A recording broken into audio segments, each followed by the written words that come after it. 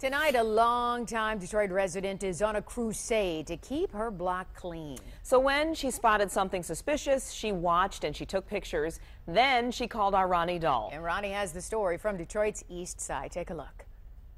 Residents in this East Side neighborhood are fighting to keep the blight from spreading. They take pride in their property. So when one neighbor noticed a cement hauler coming down the street acting suspicious, she had to do something. Around 4 o'clock Thursday afternoon, Karen was outside enjoying the weather when she noticed something odd. A cement truck came down the street the wrong way. They were in the area because they were repairing patchwork in the street. But her street, Garvin, was completed days ago, so she thought it was odd until. He came to the field over here and he pulled out the cement slide.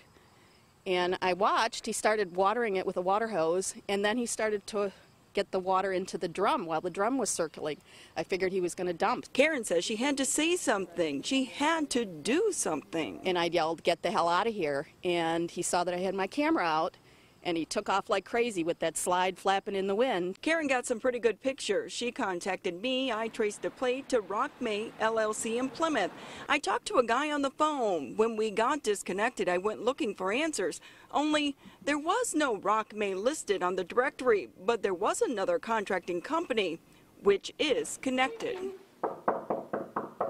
Friday afternoon, the door was locked and the lights off. Eventually, I got a call from Pete. He says the pictures Karen took don't tell the real story. The employee wasn't dumping, but was doing what is known as a washout, and the client told the driver to do it on the Gavin Street lot.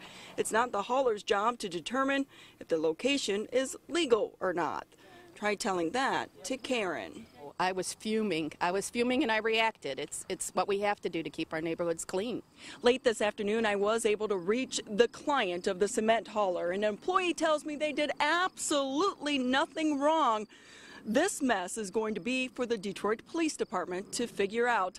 A citation could be issued. On Detroit's East Side tonight, Ronnie Dahl, 7 Action News.